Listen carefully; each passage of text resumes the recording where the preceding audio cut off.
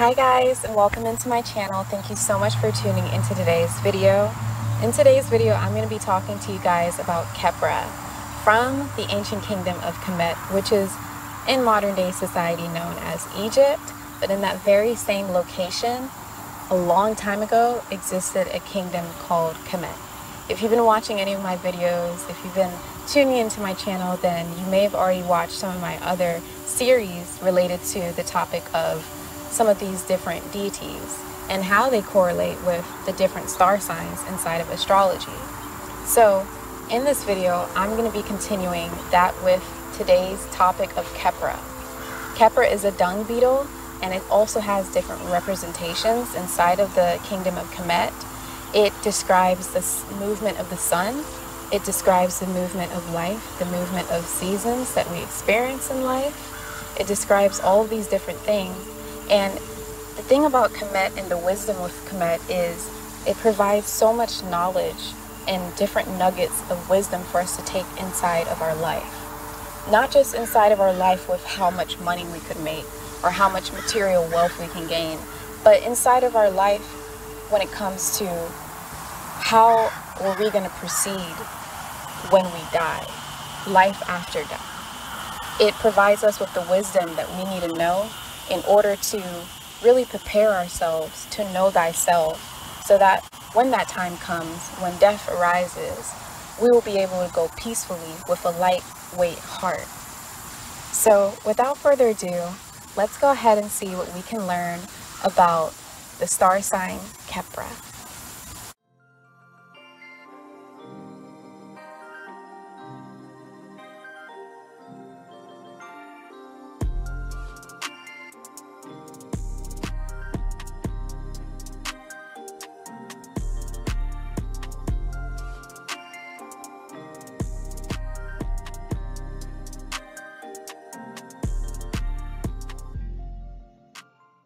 Okay, so what is Khepra? Who is Khepra? What is this thing, Khepra?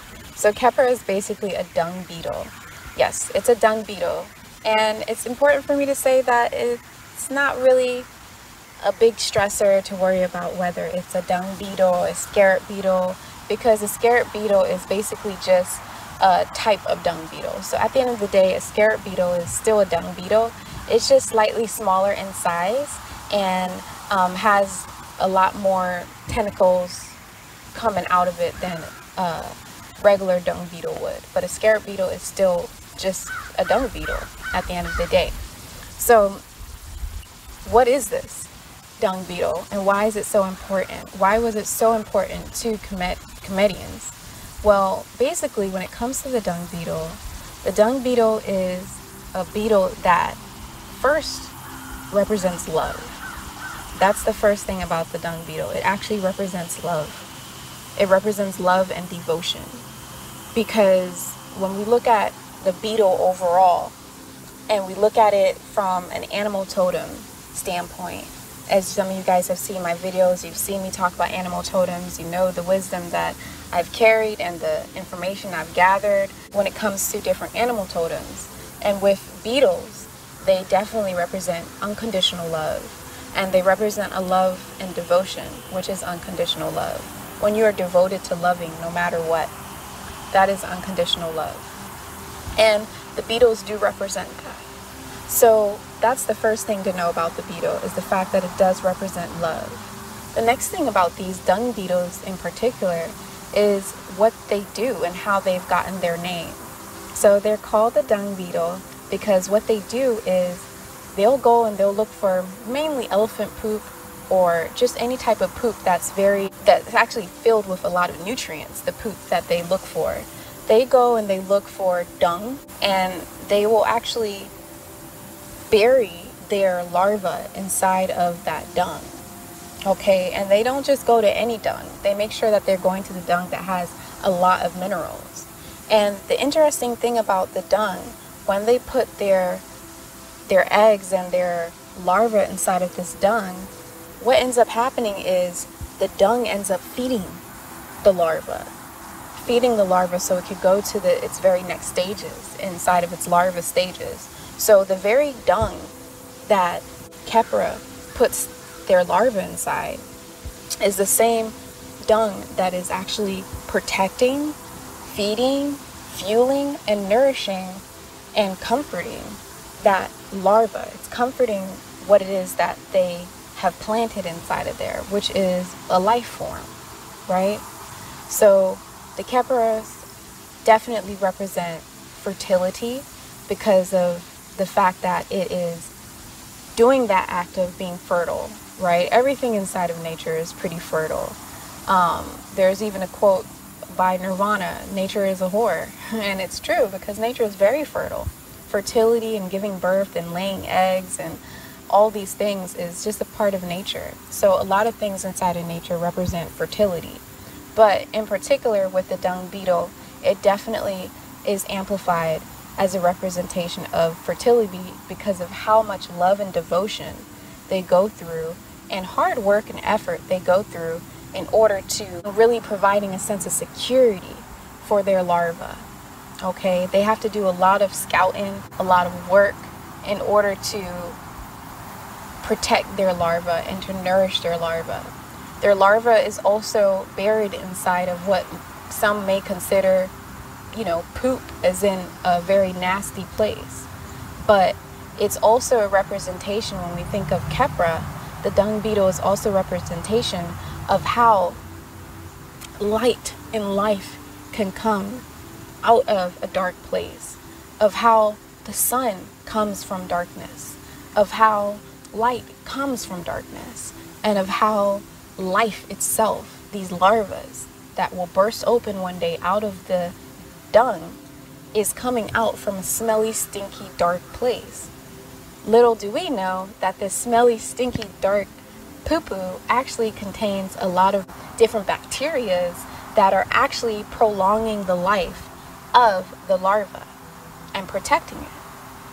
So that's a very interesting thing to note and a very interesting nugget of wisdom to take when we're looking at the symbolism of Khepra. It goes as deep as just seeing a scarab beetle on your path or seeing beetles as a synchronicity and as a totem. It is going to represent these things It's going to represent um, love, life, love, light, being birthed even inside of a dark place, devotion occurring even inside of a challenging situation. You still have love in your heart and devotion. And this directly correlates with the representations and the descriptions of the star sign Cancer it has to deal with fertility, it has to deal with the mother, it has to deal with nourishment. And there's nothing going on except for nourishment when those that larva is inside of that dung and that poop. It's being nourished 24/7. It's being nourished. So another thing and another phase of the Khepra is the fact that this dung beetle after it buries its its larva inside of the dung, it will actually roll it into a ball and it'll make sure that it's inside of a ball form, right? Now, after it makes sure it's inside of a ball form and that their larva is completely immersed and surrounded by the protection of the dung, they actually roll it up a hill so that it can get the highest uh, depths of sunlight to also help to fertilize those eggs or to prolong its life or to give it more light and life, right? And vitality, because the sun is vitality. So, going back to ancient kingdom of Kemet, when they saw the dung beetle rolling its dung up the hill, you'll see on ancient Kemetic scriptures inside of the tombs, inside of the Medu Neter, you'll see inside of their scriptures the Khepra beetle holding a sun disk just like that.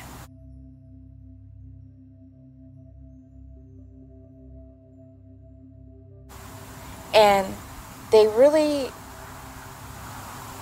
held the symbolism of Khepra very high because it was reminding them of how all the other deities also have that sun. It reminded them of the sun. It reminded them of the sun, and not just the sun, but it reminded them of a specific phase of the sun. And you'll notice that a lot of deities have the sun disk around their head. And what you'll also notice as well is over time, because Kemet existed way before Babylonian time period, existed way before all the, you know, Greek goddess and goddesses. It existed before Buddhism. Um, it existed before Vedic scriptures. And what you'll notice is a lot of these other um, religions also have a sun glowing around their deities as well.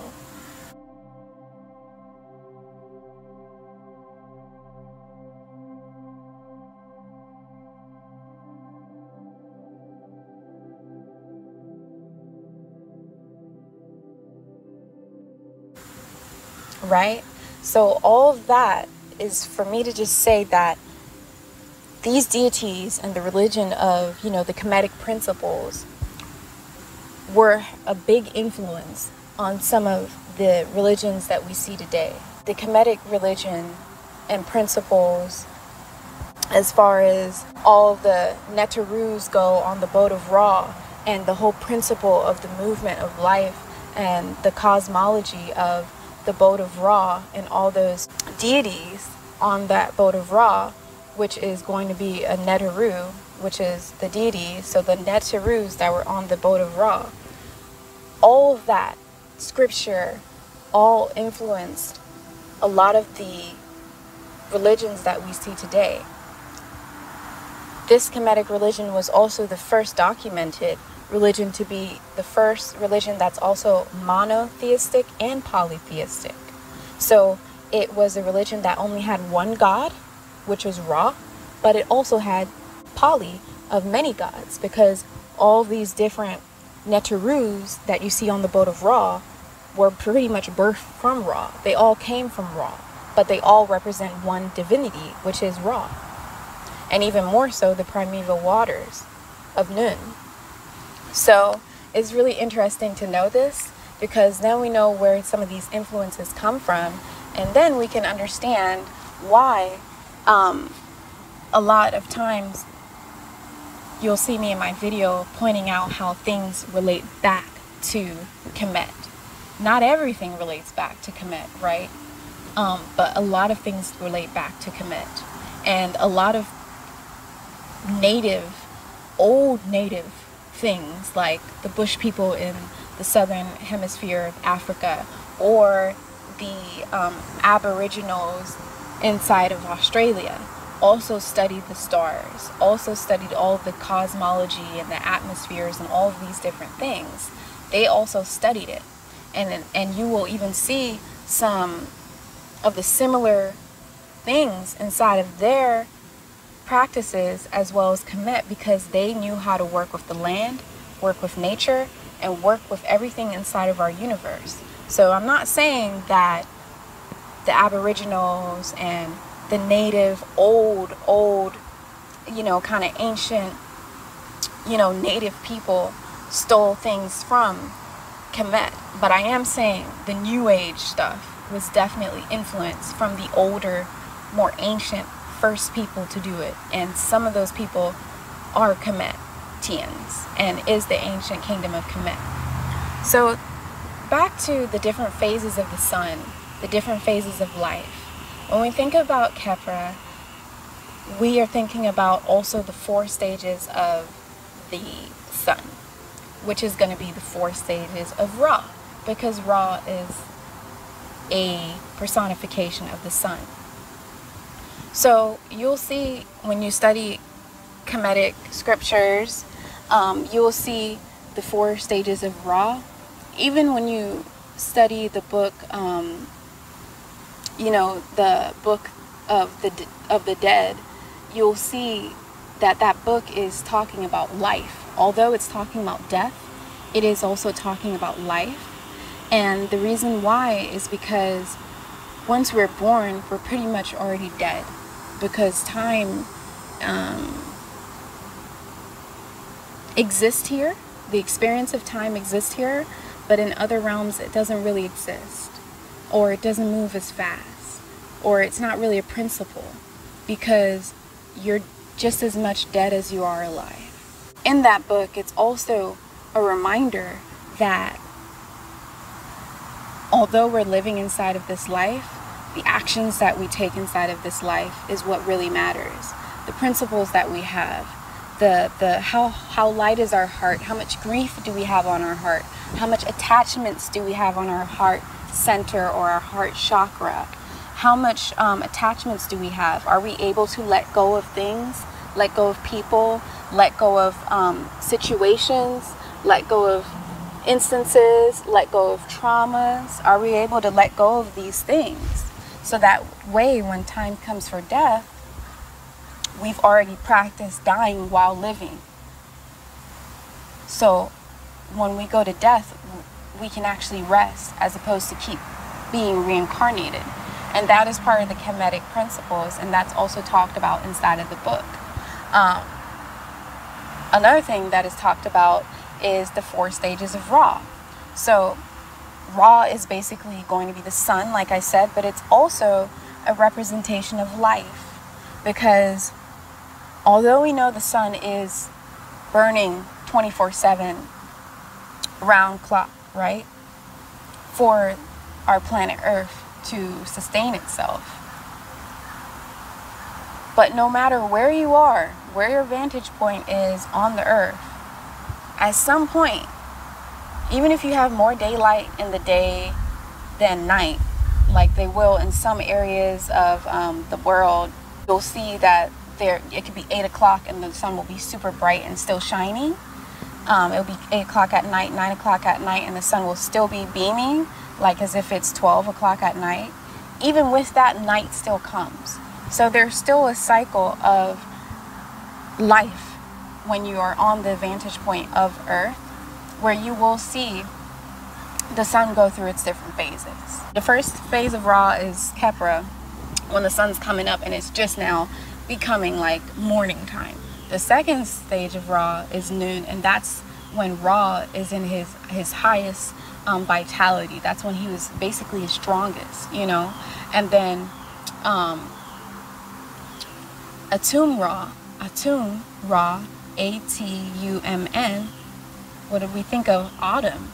That's when Ra is basically in his autumn season. But Atum Ra is a word that existed way before English was even, you know, made up or created. The word Atum in representation of coming to die, basically, coming to rest. So that's the phase of Ra when it's the evening time and the sun is going down. That's the evening time. That is the sunset. That is when Ra, in the storytelling of Ra in the four phases of the sun, or the four phases of Ra, when, when they're storytelling about him inside of these books, they talk about how that's when he was becoming weak and old. And he actually had to um, talk to Aset in order to, you know, kind of bring him back to life, where Aset needed his secret name in order to, to, to, to give him back his life again. But all that being said, I've already made a video with uh, a really good guest called the Kemetic Pisces. And that video I'll link over here if you want to go in depth about the four stages of Ra. And then the last stage of Ra is basically at night because the sun is not dead. Although it's nighttime, the sun is still there, right? So although it's winter time, although it's the death season, um, life still exists. So life is still existent even after death, even after the darkness, even when the sun goes away. So the four stages of Ra and the cosmology of ancient Kemet and its storytelling and its deities and its personifications and its symbolisms um, really represent life. They really represent a way of life, a way of living life, so that your soul can be this purest and stay its purest, and so that you can ascend whilst you're inside of this physical body, you can know thyself and still know that you're of divine or of the divinity. So they use nature as a describer of all of these things. Now, I'm talking about Khepra. I might not be able to say every single thing about Khepra, but I'm to say as much as I can squeeze inside of a video for you guys. And yes, this video may be a little bit on the lengthy side, but it has to be in order for me to really teach and explain in the correct way. So, Khepra also represents initiation. It represents a start of something.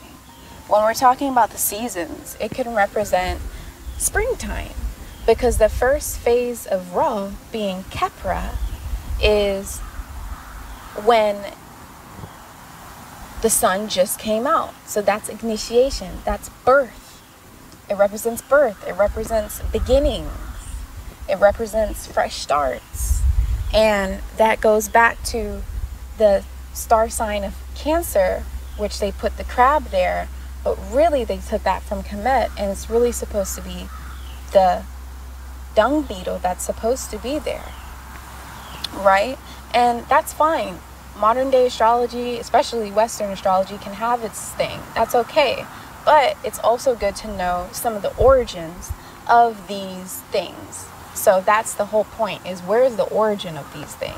Where does it really come from? Is there more wisdom to learn? Is are there other perspectives of this? Or should everyone just stay inside of a little box of um, whatever it is that's being fed inside of modern day society and not know the origins or even the more evolved um, you know, religions and understandings of life that there are. So, Khepra is going to represent that. It's going to also represent um, even a baby. Khepra is going to represent baby. It's going to also represent home. And when we think about Vedic astrology, we think about Cancer, we're thinking about the fourth house, which represents your home life. Um, why is it that Khepra represents home? Well, Khepra is providing a home for its it's providing a structure. It's providing a home for its larva. And it's rolling that larva up to the sun so it can get, you know, sunlight.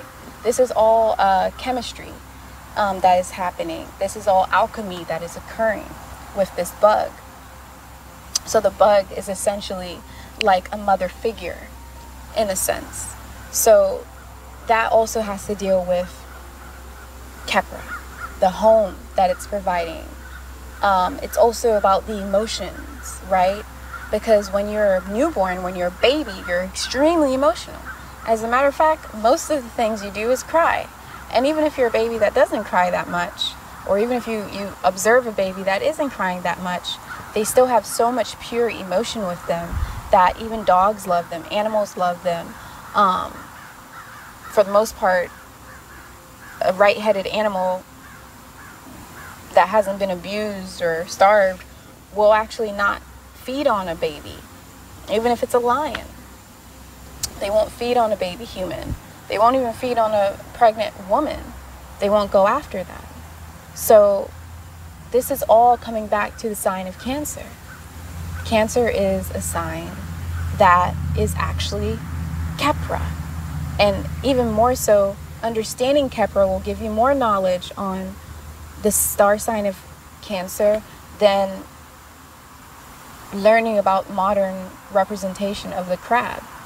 Learning about Khepra will give you more insight on the star sign of Cancer than it will if you learn about the crab. Another thing to note when I say these things about the origins of these star signs being from Kemet, it's a process where you really have to unlearn what you've already learned in order to gain more wisdom. Because even though it's the origins, it doesn't mean that every single thing that is associated with cancer is also associated with that religion. Because they took some and they left some, and then they created something else. So just because Khepra inside of the Kemetic kingdom represented springtime and it doesn't necessarily represent springtime inside of modern day astrology doesn't mean that there isn't a code there where it does actually represent that where you can get outside of the box of the cancer star sign you know description and and and, uh, and understand even more about that star sign. So it's going to represent these things. Now, when it comes to Kepra, Kepra is going to be how you're going to pronounce it. That is going to be its original name. You will also see it be pronounced as Kepri, which is okay. And you can also see it pronounced as Kepura, which is just as fine as well. Um, all these are pretty close to its original name. It comes a time when there's things like Aset and Isis, where it's good to understand the different terminologies of it, but it's good to understand that Aset it's its original name.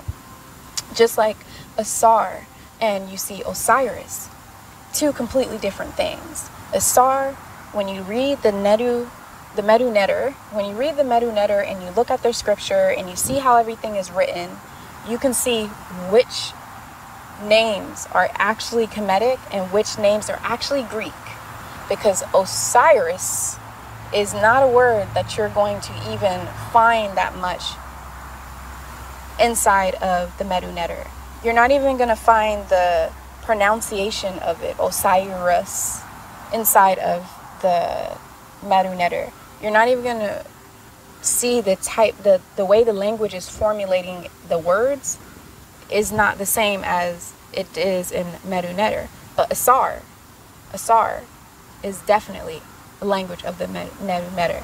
Even Heru, Heru, is sounds more Kemetic than Horus, which is the Greek name for Heru. Horus, that doesn't even sound Kemetic. That sounds Greek. So it's good to understand all these things. But Kepra, Kepara, and Kepri are pretty much, you know, pretty close to its original state. So you'll see it being called these different things. You may also see Kepra in a form of just the dung beetle itself holding the sun disk or on its own. Most of the times you will see it holding the sun disk because it's holding the sun disk. Even on the boat of Ra, you'll see a representation where there's like a boat of Kepra, where when we look at the name Kep Ra, Kepra is still Ra.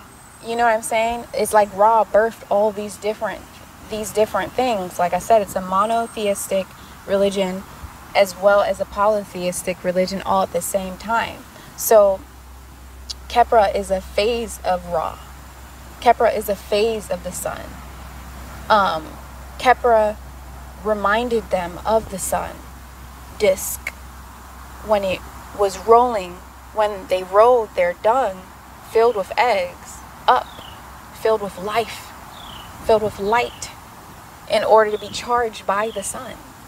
And so all this is very important to know. When you see the boat of Kepra, it's really also still the boat of Ra, really, when you think about it. So you'll see that. You'll also see a deity called Kepra, where he may have uh, arms like the the dung beetle and a head like the dung beetle, but a body of a man, or you will see him with just the head of a dung beetle and the body of a man.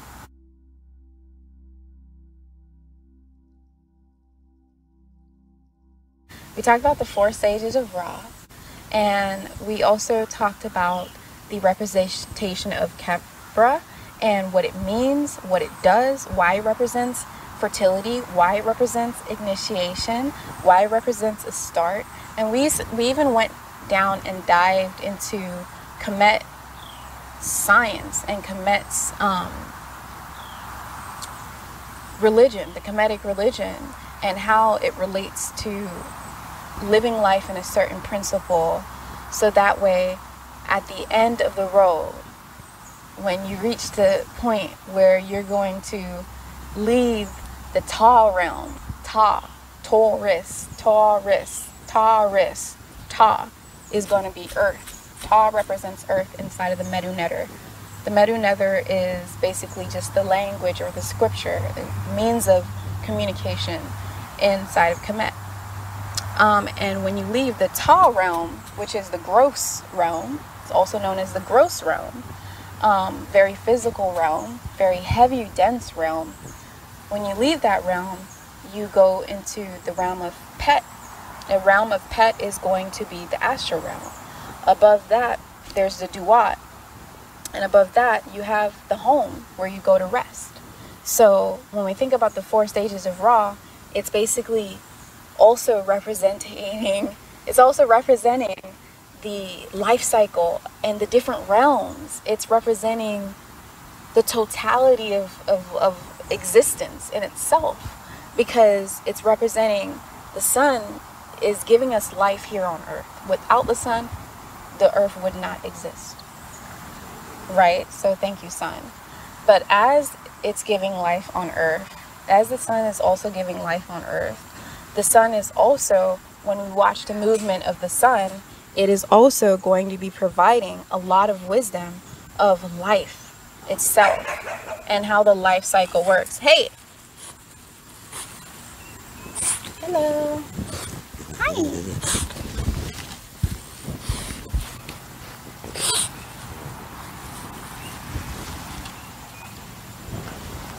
So we're also looking at the movement of life and the life cycle of the world overall and how the world works. So yeah, guys, that is going to be it really. I can go in depth about, you know, Khepra and go in depth about it, but at the end of the day, that's going to be in short what Khepra is symbolizing. That's how it relates to the star sign Cancer. That's how it relates to all of these things.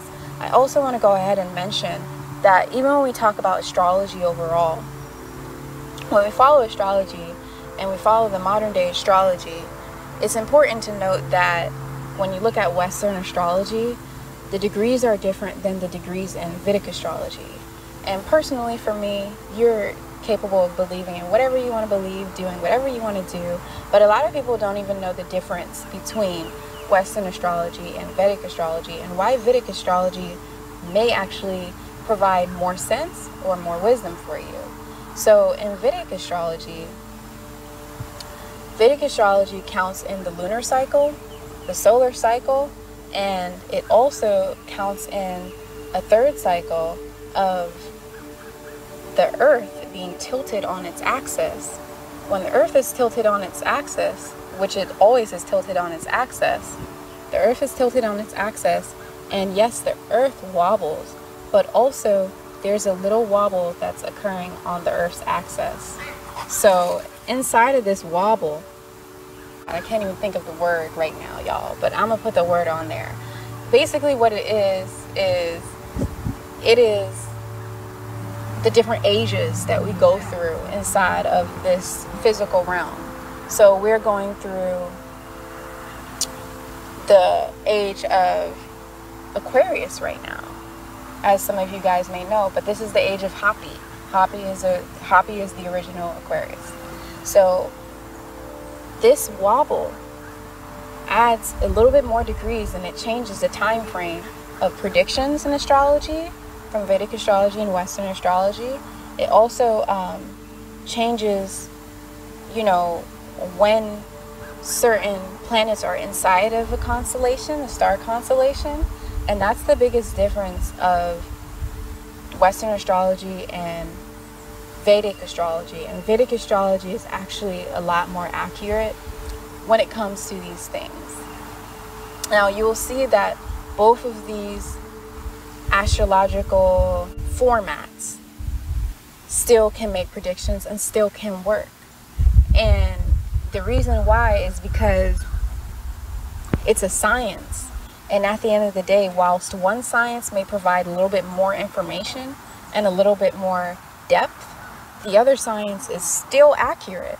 It just doesn't has as much information or as as many depths as the other one does. So, thank you guys so much for tuning into this video. I really hope that you guys can hear me.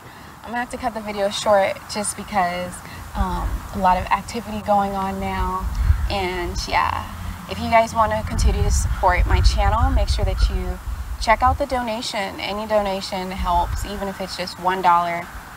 I'm still making crystals. My handmade crystals are still up for grabs. Um, I have this one right now. This is mine. this one isn't up for grabs, but I have lots of ankhs available. And I also have my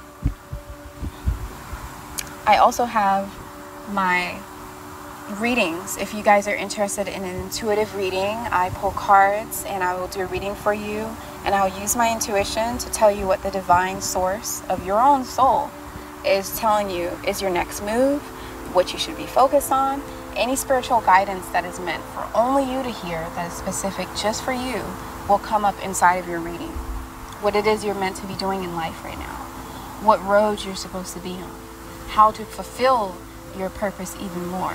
Or if you're just interested in a love reading, a career reading, um, or a specific question, I can help you guys with that as well through booking a reading with me on www.bloomingwoman.com. So check it out because that's where you'll be able to book a reading with me as well as the EFT therapy, which is a technique of tapping different acupuncture parts of the body, tapping these different parts of the body um, to release trauma so that your heart can be as light as a feather. So if you guys are interested in doing that with me, that is also available on my website as well. I really hope you guys enjoyed watching the video. Don't forget to hit the like button on this video. Don't forget to also subscribe to my channel and check out my website for more guidance, for more in-depth sacred, sacred, sacred, sacred healing because I'm not one of those people who are going to go live and um, do personal readings on live streams.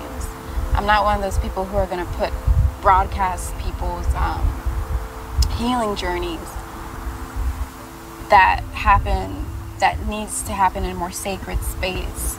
Um, there's a lot of information that needs to be kept sacred. There's a lot of circuit, circuit, circuit, circuit, that deity. Um, there's a lot of sacred circuit things that need to be kept sacred so that the circuit can keep running. All right? Some things are just going to be hidden knowledge. And doing personal readings is definitely something that's meant to be sacred. So thank you guys so much for tuning into this video. And I'll see you all inside of the next video. Love you guys. Until then, bye-bye.